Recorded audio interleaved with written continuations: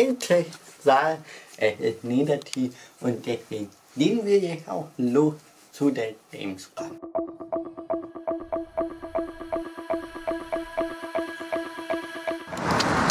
An einer laut befahrbaren Straße geht es jetzt in den Zug. Sind nur zwei Haltestellen.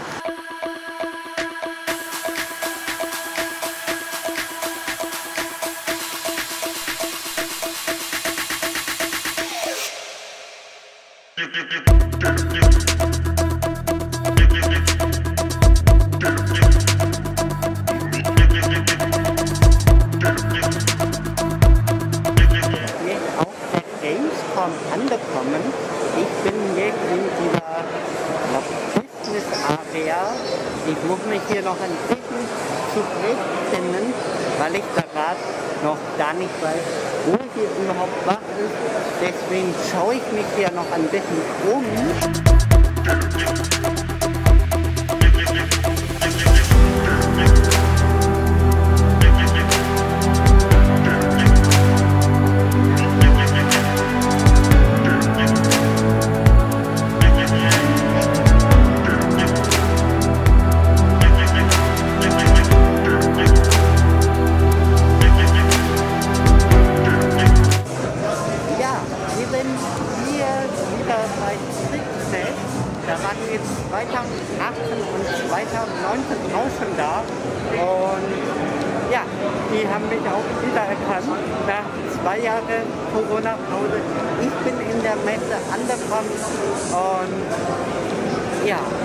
sind sehr viele andere Hersteller. Ähm, ich habe euch hier noch ein kleines Video, was im Rahmen 2019 auf der Gamescom stattgefunden hat.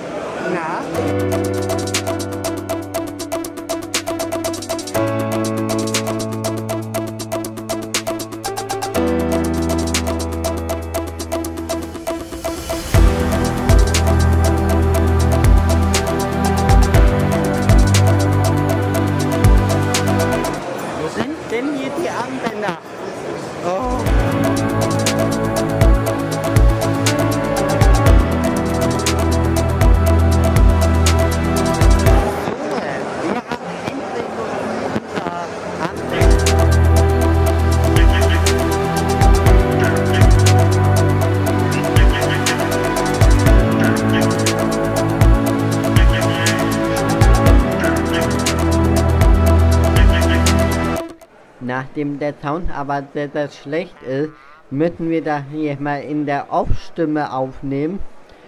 Ich habe in dem Moment gesagt, äh, wir holen ihr die Kollegin ab, die mit auf der Gamescom ist und mitfilmt. Und ja, sie hat eine Wildcard und kann erst ab 13 Uhr rein. Das ist gesagt jetzt. Und da laufen wir jetzt auch hin.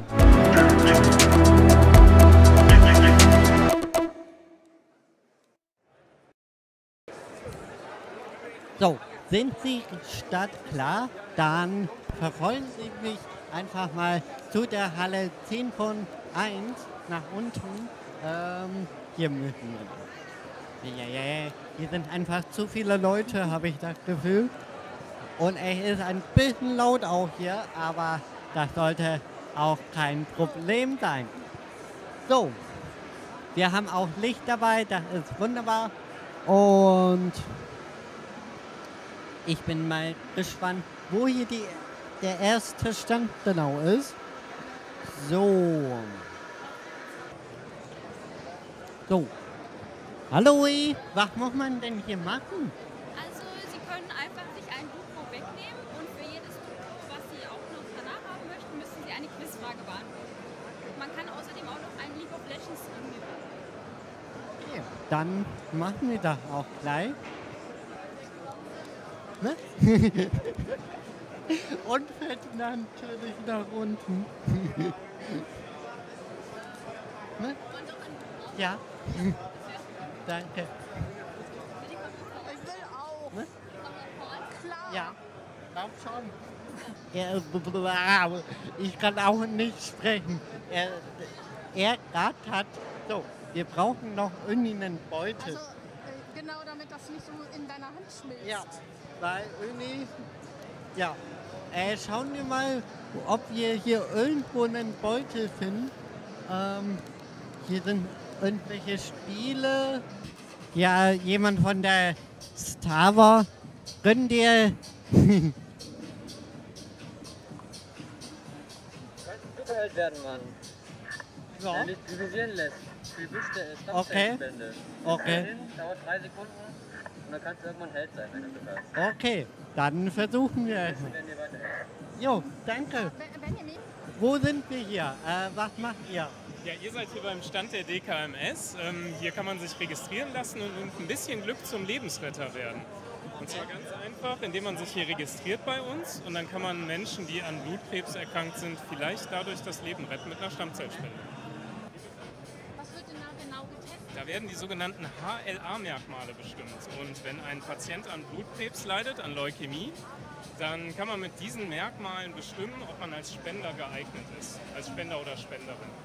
Und wenn das passt und wir haben einen Patienten und dann kommt äh, die Nachfrage, habt ihr für diesen Patienten einen Spender oder eine Spenderin, dann gibt es quasi ein Match und dann würden wir ihn zum Beispiel anschreiben und fragen, willst du immer noch Spender werden? Wenn er ja sagt, würde die Spende stattfinden. Und dann kann er damit relativ einfach und mit etwas Glück zum Lebensretter.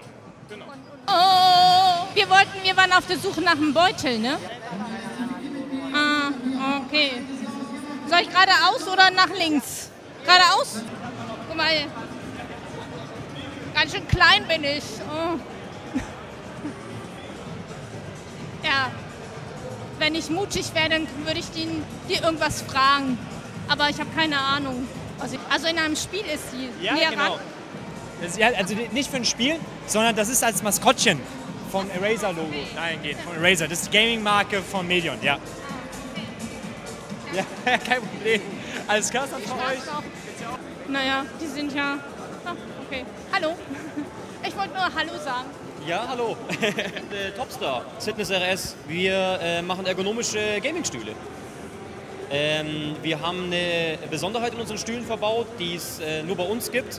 Unter den Stühlen ist eine 3D-Box verbaut und die sorgt dafür, dass der Stuhl dreidimensional beweglich ist. Das kann man auch am Stuhl ganz einfach zeigen. Der Stuhl bewegt sich quasi, die Sitzfläche bewegt sich in alle Richtungen. Und wenn man drauf hockt, ist man auch dreidimensional beweglich.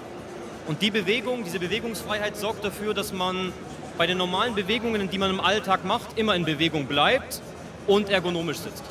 Die, Rück die Rücken bleibt in Bewegung, die Wirbelsäule ist in Bewegung und äh, man kann stundenlang zocken, drauf sitzen, hat nie Schmerzen, ist weiterhin konzentriert.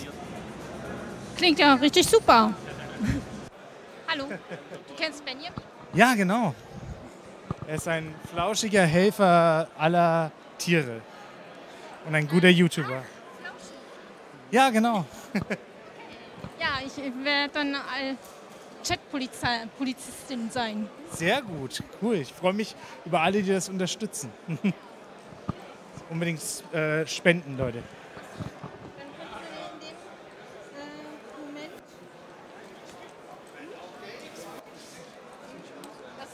Wir in die Kamera.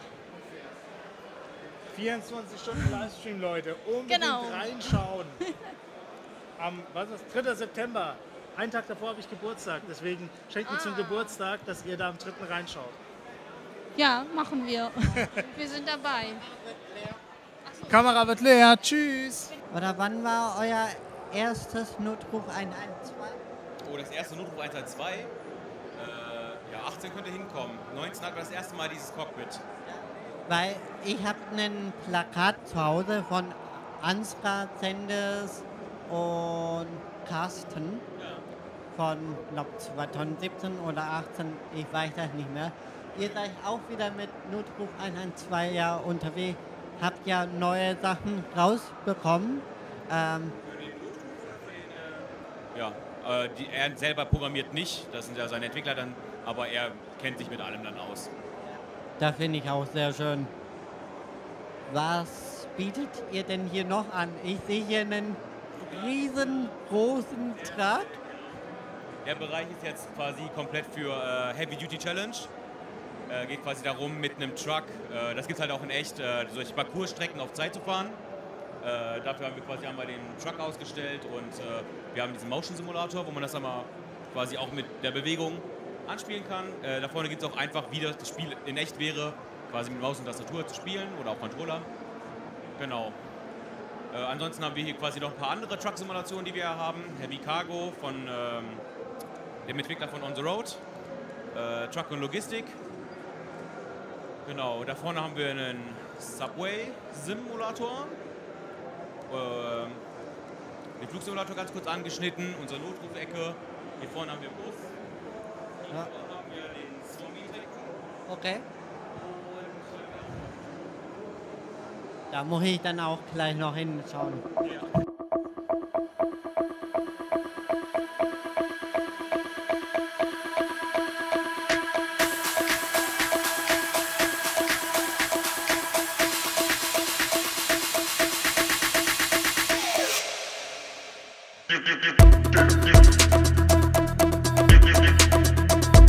Somit endet sich auch der erste Tag vom Medientag. Ähm, und für uns geht echt dann beide wieder nach Hause. Ich werde euch den Vlog schneiden. Und ja, wir sehen uns morgen wieder.